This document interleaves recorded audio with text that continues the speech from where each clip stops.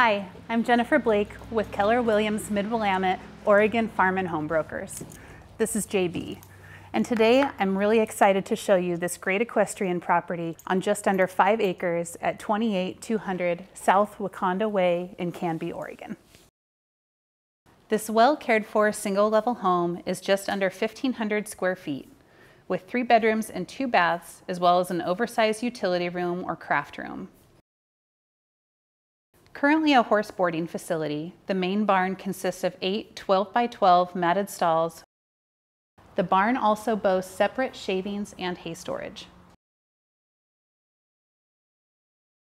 The 60 by 144 covered arena is such a versatile space no matter your discipline.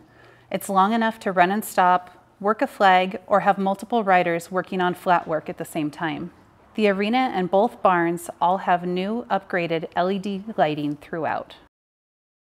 At the far end is an approximate 200 by 300 foot outdoor dirt arena that could be planted to hay or seeded for livestock. The property sits across the road from Arrowhead Golf Club. It is also just down the road from the Ranch Hills Golf Course. Thanks for taking the time to tour 28200 South Wakonda Way in Canby, Oregon. Have a great day.